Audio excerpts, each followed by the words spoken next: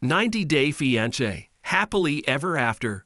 Star Loren Brovarnik is revealing how she is doing as a Florida resident with Hurricane Milton closing in on the state. Loren used to live in New York when she first started 90 Day Fiancé Season 3 and Alexei was moving to the U.S. from Israel on a K 1 visa.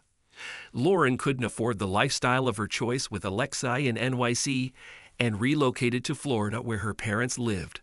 Loren and Alexei have since improved their financial situation greatly and welcomed three children, with whom they continued living in the U.S. Loren Brovarnik has often teased moving to Israel with Alexei Brovarnik and their kids, but continues to live in Hollywood, where they have also purchased a new house recently. However, with a Category 4 storm, which Joe Biden said may be the worst storm to hit Florida in 100 years, expected tonight, Loren's still not ready to leave her home state. Loren's been posting her regular updates on Instagram as she promotes a romper that's on sale and a three wick candle everyone has been asking her about on Instagram. Loren shared a picture of a dark, stormy sky and thanked everyone who had reached out to her, concerned about Loren and her family's safety. Loren told them, We are fully prepared and will keep you updated.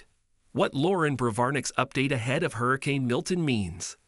Loren's co stars Jovi Dufresne and Yara Zaya have evacuated. Loren has been stocking up on healthy snacks, which she will have with her family while they are going to be home for a few days.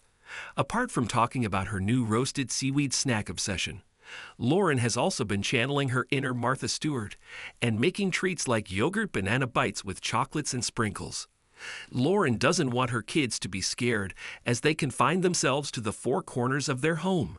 She's trying to convince her children that they are going to be safe.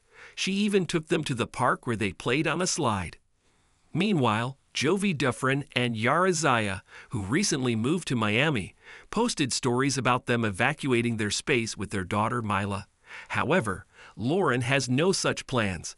As Hurricane Milton prepares to create havoc in Florida counties as it closes in on the state, Loren will be inside her house and doesn't seem to be worried about it having the potential to be one of the most destructive hurricanes on record.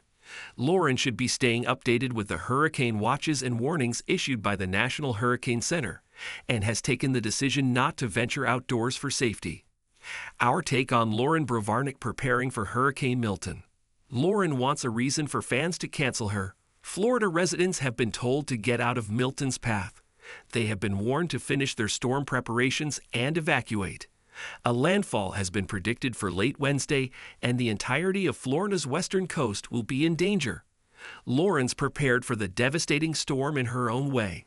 It could give Loren's critics another reason to call her out and ask for her cancellation from the show.